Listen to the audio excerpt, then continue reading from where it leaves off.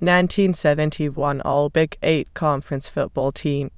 The 1971 All Big Eight Conference football team consists of American football players chosen by various organizations for All Big Eight Conference teams for the 1971 NCAA University Division football season. The selectors for the 1971 season included the Associated Press AP. Tight ends John Troll, Kansas AP. Wide receivers Johnny Rogers, Nebraska AP.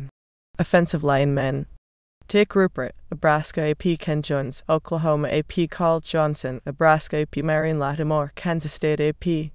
Senders Tom Brahaney, Oklahoma AP. Back Greg Pruitt, Oklahoma AP Jack Mildren, Oklahoma AP Jerry Tagge, Nebraska AP Jeff Kinney, Nebraska.